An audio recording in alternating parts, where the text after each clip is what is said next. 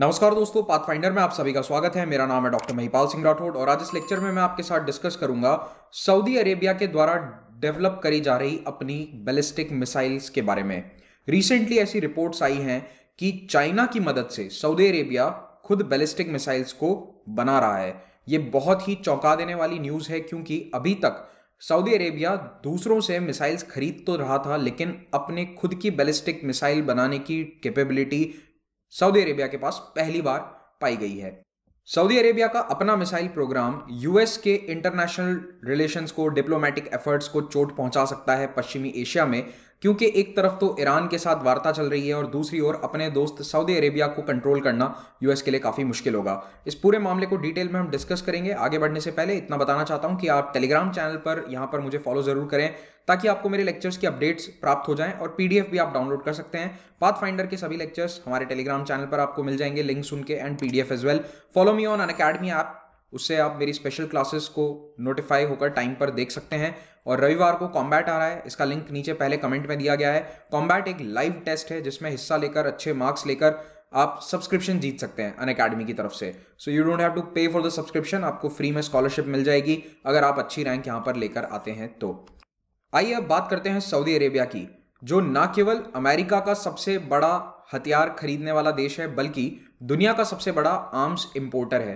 तो अगर आप मेजर वेपन्स की बात करें, उसमें दुनिया में सबसे ज़्यादा हथियारों की खरीद सऊदी अरेबिया के द्वारा की जाती है।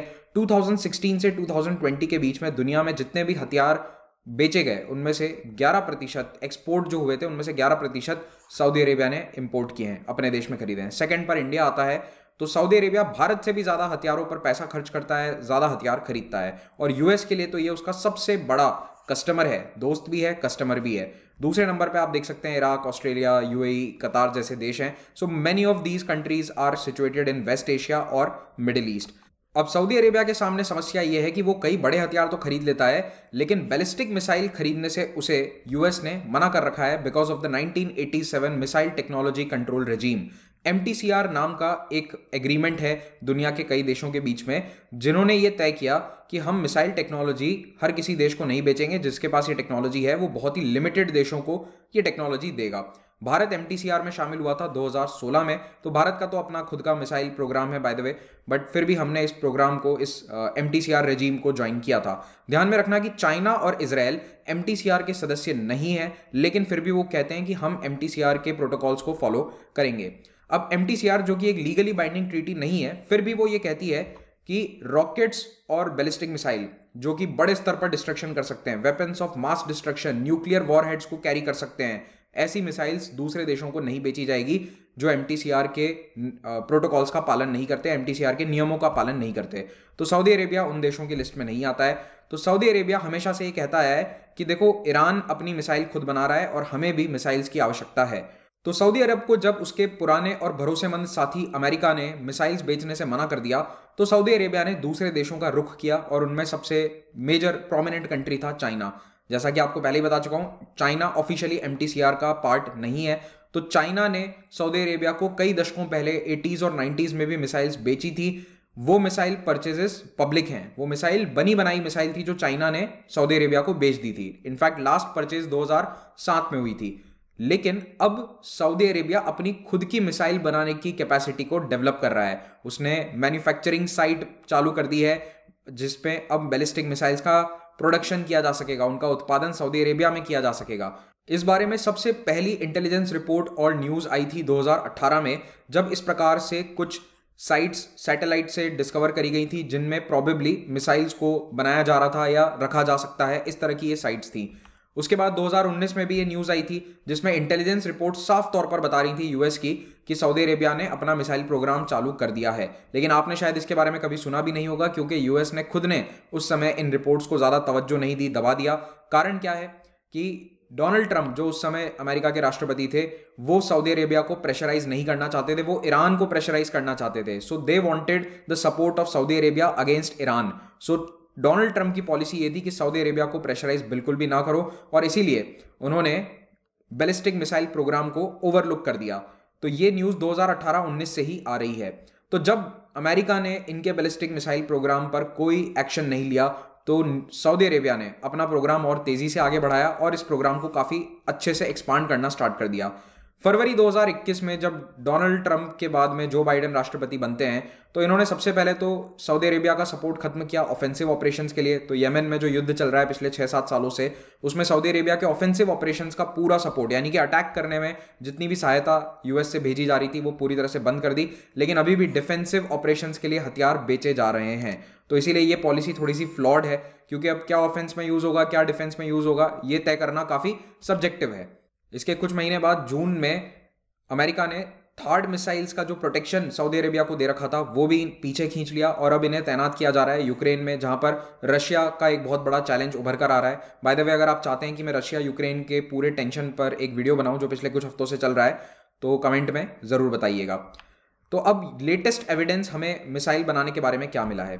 देखिए, एक कंपनी है प्लानट नाम की, जो कमर्शियल इमेजिंग करती है सैटेलाइट इमेजेस वो रिलीज़ करती है। तो उन सैटेलाइट इमेजेस के माध्यम से डिफेंस एक्सपर्ट्स ने ये देखा है कि 2021 में रीसेंट बिल्कुल दो महीने पहले सऊदी अरेबिया की कुछ साइट्स पर ऐसे एविडेंस मिले हैं जो साफ़ तौर पर बताते हैं कि बैलिस्टिक मिसाइल्स का यहाँ पर प्रोडक्शन हो रहा है। एक्चुअली ये साइट आपको देखने पर लगेगा कि यहाँ तो केवल एक या दो बिल्डिंग्स हैं, कुछ सड़कें बनी हुई है, लेकिन डिफेंस एक्सपर्ट्स को ज़्यादा हमसे नॉलेज होती है ऑफकोर्स तो उन्होंने बताया कि ये जो स्ट्रक्चर है this is a burn pit burn pit क्या होता है कि जब मिसाइल्स को बनाया जाता है, बैलिस्टिक मिसाइल्स को तो उसमें सॉलिड प्रोपेलेंट लेफ़्ट ओवर होता है, एक्स्ट्रा होता है, उसे डिस्पोज करने के लिए एक तरह का गड्ढा खोदा जाता है और उसमें ये फ्यूल जलाया जाता है। सो ये बर्न पिट साफ़ तौर पर नज़र आ रहा है। आप इस फ़ोटो में देखेंगे तो ये काला हो रखा है यहाँ पर।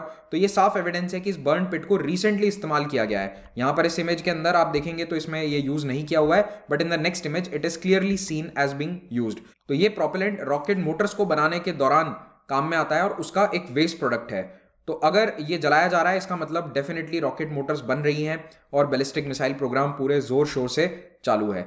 उसके अलावा इंटेलिजेंस रिपोर्ट्स भी यूएस की ये बता चुकी हैं कई बार कि सऊदी अरेबिया अपना खुद का बैलिस्टिक मिसाइल प्रोग्राम चला रहा है, लेकिन उसके खिलाफ यूएस ने अभी तक कोई एक्शन नहीं लिया है। हालाँकि ये सब न्यूज़ पब्लिक नहीं है, लेकिन कई मीडिया रिपोर्ट से आप खुद देखेंगे तो अमेरिकन मीडिया ने इस पर बहुत बार रिपोर्ट किया है।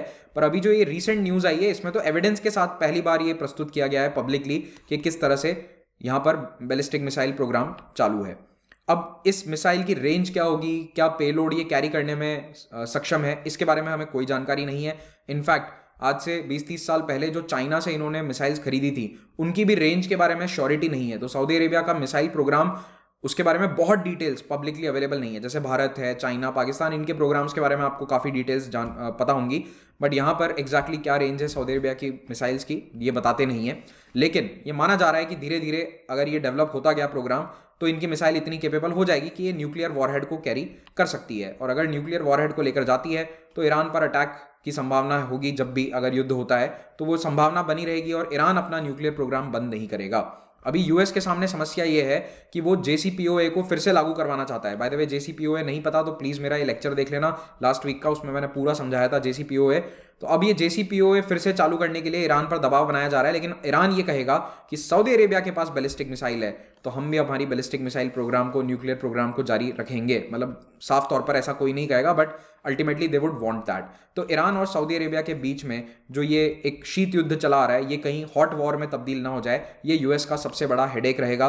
दोनों ही देशों के साथ उसके अलग प्रकार के डिप्लोमेटिक संबंध हैं और दोनों के साथ अलग टारगेट्स हैं। ईरान के साथ जेसीपीओ साइन करना है सऊदी अरेबिया को अपना पार्टनर आगे बनाए रखना है। तो यूएस के सामने ये इस वक्त सबसे बड़ी चुनौती है। लेकिन बात देखिए कि चाइना ने इन्हें मिसाइल प्रोग्राम बनाने में मदद क्या करी? यूएस आगे चलकर और सऊदी अरेबिया को मिसाइल्स बेचने को तैयार हो गया। इन्होंने कहा, आप और हथियार हमसे ले लीजिए। आप हमसे हथियार लो, चाइना से मत लो। तो सऊदी अरेबिया और ज़्यादा अभी रिसेंटली मिसाइल्स परचेस कर रहा है वर्थ 650 मिलियन डॉलर्स तो इसी के साथ ये लेक्चर हम समाप्त करते हैं। टेलीग्राम चैनल से पीडीएफ डाउनलोड कर लेना। पाथ फाइंडर चैनल को सब्सक्राइब नहीं किया है तो please subscribe to the channel press the bell icon मेरा पोस्ट इंडिपेंडेंस हिस्ट्री का कोर्स शुरू हो रहा है प्लस प्लेटफॉर्म पे 29 दिसंबर से। इसका लिंक नीचे कमेंट में आपको मिल जाएगा।